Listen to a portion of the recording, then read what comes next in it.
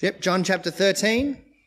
We're, we'll be reading verses 1 to 15, and you can find that on page 956.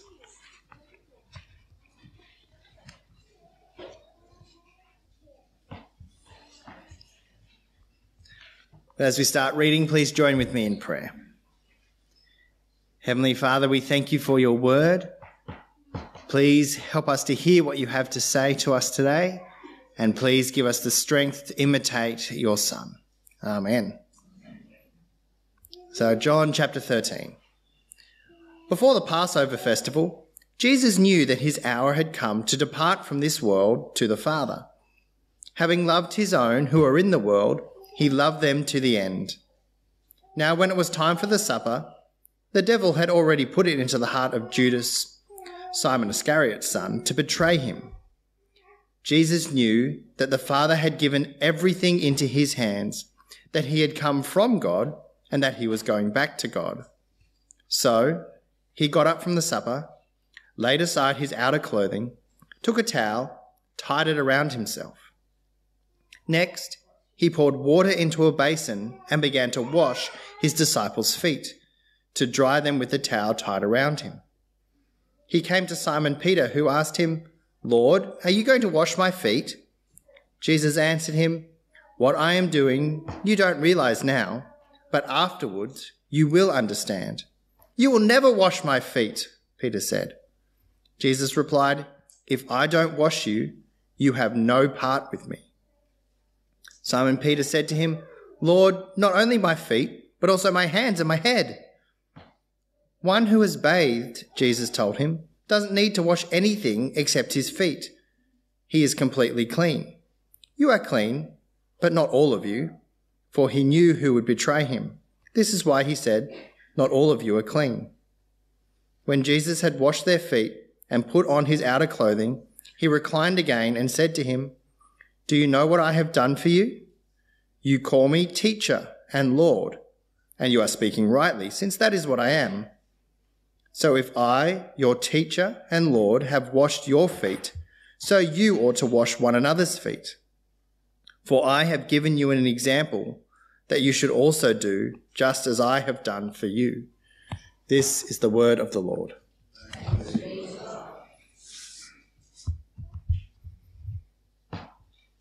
This is a passage that I'm sure many of you have heard a number of times before. It's a Sunday school favourite.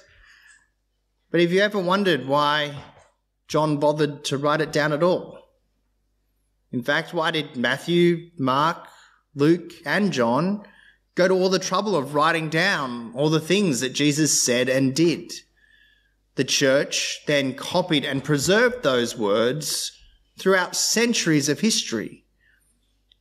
That's a lot of effort for a first century rabbi, was it really worth it? Why did they think it was so important to record the words of this one guy? There were plenty of rabbis throughout the first century, and none of them get remembered. Why is Jesus so important? Well, here in John 13, John actually gives us two reasons why it is so important to remember what Jesus has done and why he has done it.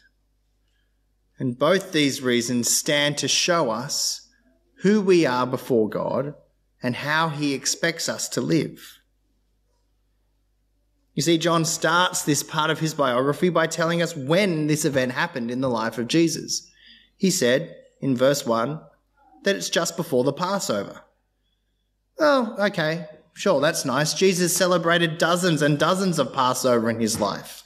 Just telling us it was the Passover doesn't help. That happens every year. Which Passover, John? Well, he goes on to say that Jesus knew that his hour had come. Throughout John's life story of Jesus, he uses this phrase, Jesus' hour, quite a lot. And every time it's in reference to what is going to happen at the cross because that is the hour that Jesus fulfills the reason why he came. And so when John says that Jesus know his hour is coming and that it's Passover, we know that this just isn't any Passover that Jesus is having with his disciples, but it's the Passover, the final Passover that Jesus is sharing with his disciples right before he gets arrested, taken to court, and killed on a Roman cross. And this fact is going to help us understand exactly what happens next. Because Jesus knows what's about to happen and he wants to show his disciples what it means. What is going to happen next and what it means. So imagine this you're one of the disciples. You've been following around this great teacher for a few years now. You've sat down to another Passover meal with your teacher and your mates. As the supper gets started to serve, Jesus gets up, takes off his jacket, ties a towel around his waist, grabs a bowl of water, and starts washing feet. We don't understand it now, but this is absolutely scandalous. Teachers and lords don't wash feet. That's a job reserved for the lowest slave in the household. Husbands and wives didn't wash each other's feet in the first century. It's too menial a task. It doesn't happen. You get your Gentile slaves to wash your feet because it's too low a task for your Jewish slaves to do it.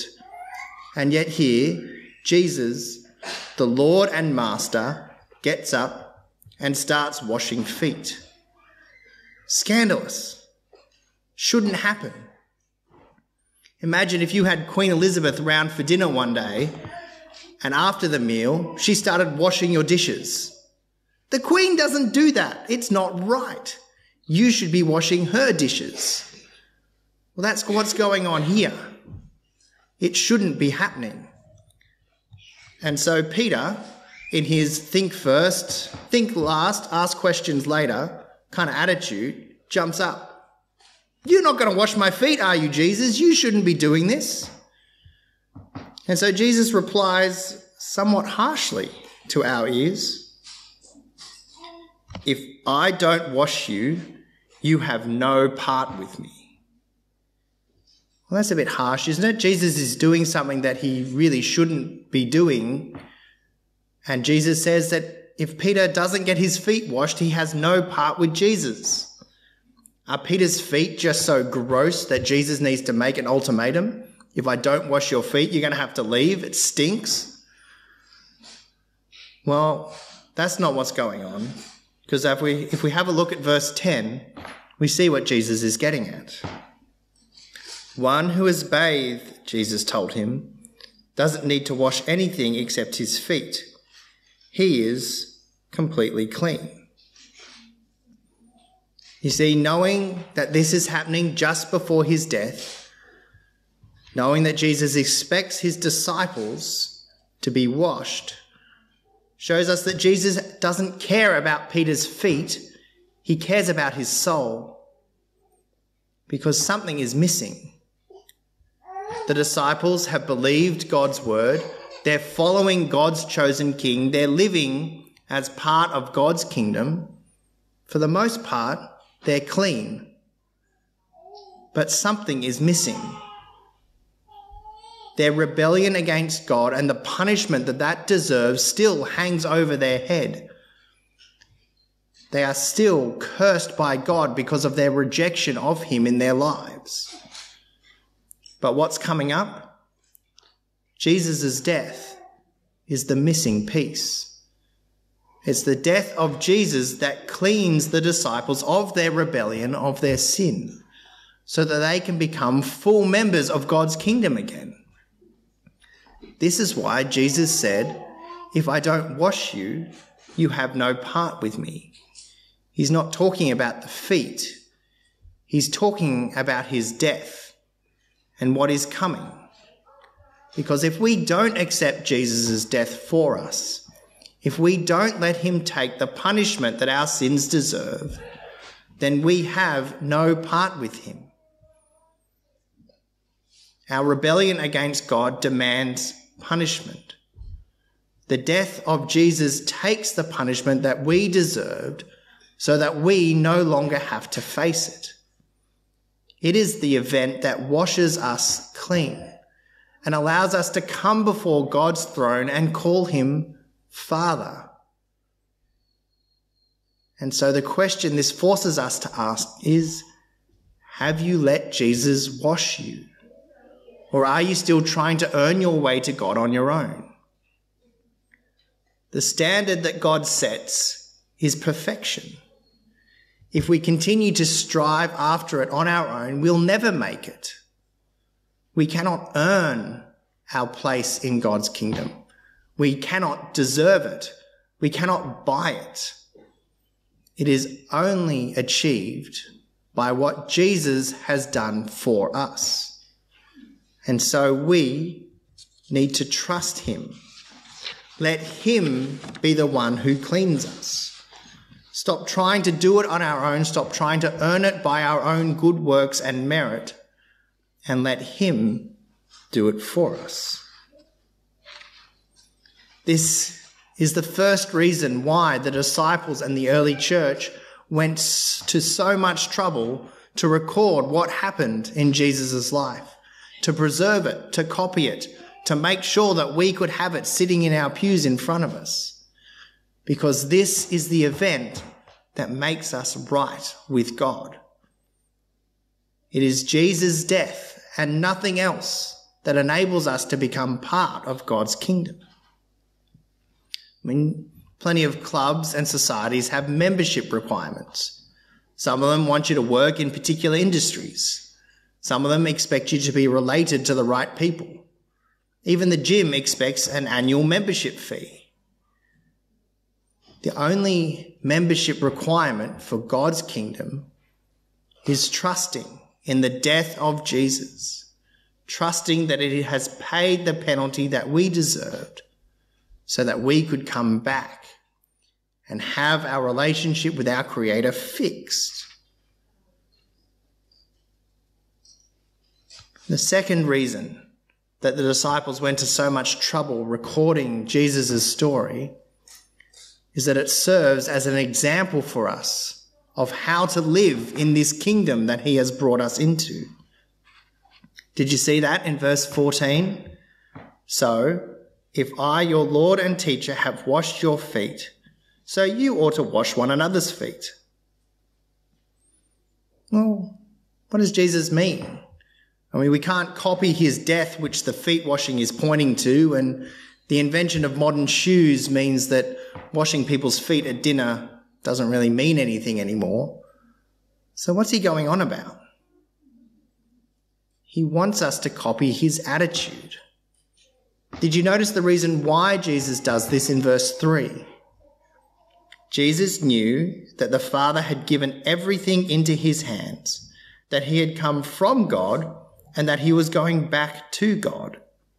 So, he got up from the supper. Jesus is king. Everything has been given into his hands. He has come from God. If he wanted to, he had every right to bust out of that room, call down an army of angels, depose Pilate and the emperor, take up his throne, and demand everybody worship him. He had the power to do that. But that's not what he does with his power. When he sees all the power that he has, he gets down and serves. And that's the attitude that he's calling us to emulate. An attitude that says, I will use my power for the good of others, even if it means looking meek and lowly. This is what Jesus wants us to copy. Back in around 2010, a new craze swept the internet. It was called power posing. This was a great craze. It said that if you adopted certain bodily positions, you would feel filled with power and confidence, and you'd be able to ace whatever it is came next. The internet loved it. There were heaps of stories of people doing these power poses before interviews, speeches, auditions, dance recitals, and how they aced it. The science is, keeps going back and forwards. They can't decide whether it works or if it's just a placebo, but the internet loved it. And as you can imagine, all these power poses are full of power and strength. It's V for victory, I win. It's the superhero, hands on hips, staring off into the distance. I should be in a movie kind of pose. Jesus had a power pose too. And as we've just seen, it's not filled with strength and victory, but it's a towel around the waist, bowl of water in one hand, on his knees. And then, a week later, its arms stretched out and nailed to a cross. What's your power pose look like? Is your power pose all about you and strength and victory and achievement? Or is it about humility and service? Washing of people's feet was reserved for the lowest of low slaves. Jesus doesn't wash people's feet he doesn't die for them because he has no power, because he is weak, but precisely the opposite. He serves because he has all power and challenges us. How will you use your power? Where do you have power in your life? Do you have power over your colleagues at work? Do you have influence in your family or amongst your friends? Are you using that power to serve? Are you trying to keep your colleagues down so that you can climb higher on the corporate ladder, no matter what the cost? Or are you building them up, helping them to do their jobs better? Do you work with your family to help them to be who they need to be to help them to achieve what they need to achieve? Are you working for their good? Or are you constantly belittling them, tearing them down, hampering their progress? Friends, this is why no form of abuse can ever be justified by the Bible. Anyone who uses the Bible to justify the use of power that belittles, destroys, or abuses anyone is clearly against what Jesus wants us to do with our power. He says, no, that's not good enough.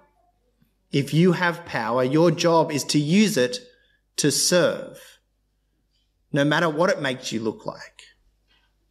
Jesus washed feet. Jesus died the most shameful and humiliating death that humanity has ever come up with. Not because he was weak, but because he was powerful and wanted to cleanse a people from himself to live with God so that we could join him forever in the new creation. We started this sermon asking the question why did Matthew, Mark, Luke, and John go to so much trouble to write down what Jesus did for us? Why did the church spend so much time, money, and effort copying it, making sure that we could read it? Because this is the event. The life, death, and resurrection of Jesus is the one thing that makes us right with our Creator God. It is the event in history that fixes the punishment that we so rightly deserved for our rebellion and allows us to call God Father. And then it serves as an example for us to show us how we are to use the power that God has given us in whatever area of life we happen to have it. And says, don't use your power for yourself. Don't use your power to gain more power or influence or money. Use your power to serve followed the example of the one who had ultimate power and still used it not to glorify himself, but to save us. Have you let Jesus wash you? If we do not accept his death for us, we have no part with him. What are you doing with your power? And will you use it to serve others? Let's pray. Heavenly Father, we thank you for the life of your Son. We thank you that in his death our punishment has been taken away. And now we ask that you will enable us to use the power that you have given us for the good of others so that we might follow in his footsteps. Amen.